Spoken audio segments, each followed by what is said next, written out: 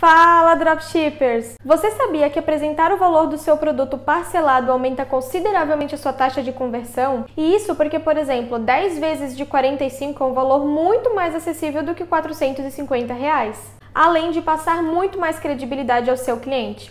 E isso é possível com o aplicativo Parcelamento Installments. E você tem uma semana inteira de teste gratuitamente, ou seja, não tem motivos para você não testar. E o link está aqui na descrição.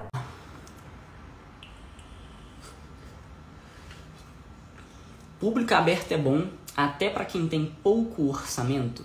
Cara, o público aberto é uma das estratégias que você utiliza na hora de anunciar o seu produto, para você definir o seu público. O tem estratégias que a gente utiliza, tem todo esse passo a passo para você seguir. Mas sim, eu gosto muito do público aberto se você saber usar ele da forma certa. Se você saber usar o público aberto ao seu favor, saber usar ele da forma ideal. Isso é uma estratégia pessoal minha que a gente consegue compartilhar ela porque eu demorei meses para chegar a muitos milhões faturados, foi muita conta bloqueada, foi muito prejuízo até chegar nisso aqui. Então, eu não compartilhei isso nunca, cara. Acho que a única pessoa que eu já compartilhei isso foi pro meu irmão. Mas utilize o público aberto sim, tá? Não tem muitos segredos, velho, tá? Tem, tem os ajustes especiais, alguns detalhes, mas o público aberto em si, na minha opinião, ele já é melhor do que qualquer outro público dentro do Facebook, tá?